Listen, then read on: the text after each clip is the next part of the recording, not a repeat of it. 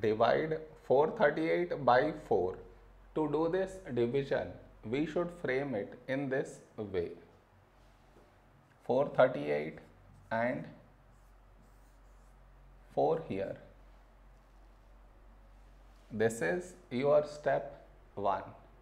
Next, here we have 4, here also 4. When do we get 4 in 4 table? 4 ones 4.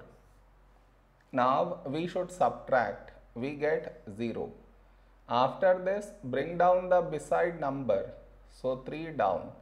Now here we have 3 and here 4.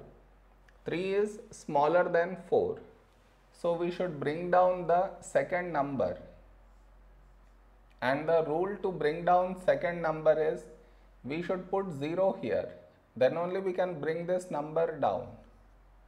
Now 38. A number close to 38 in 4 table is 4 nines 36.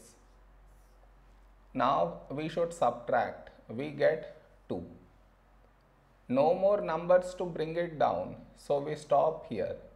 This is our remainder and this is our quotient.